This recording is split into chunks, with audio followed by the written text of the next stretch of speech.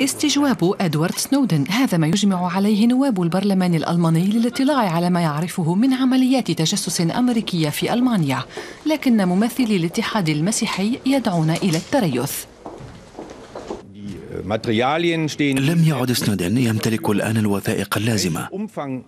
وعلينا أن نعرف فيما إذا كان سيقدم لنا معلومات تكميلية.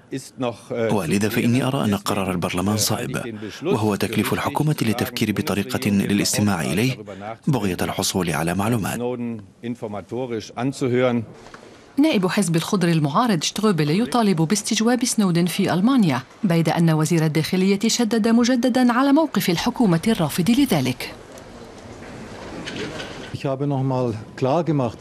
وضحت مرارا بأننا سنتمسك بقرارنا وهو أن السيد سنودن لا يملك حق اللجوء في ألمانيا لأنه غير ملاحق سياسيا.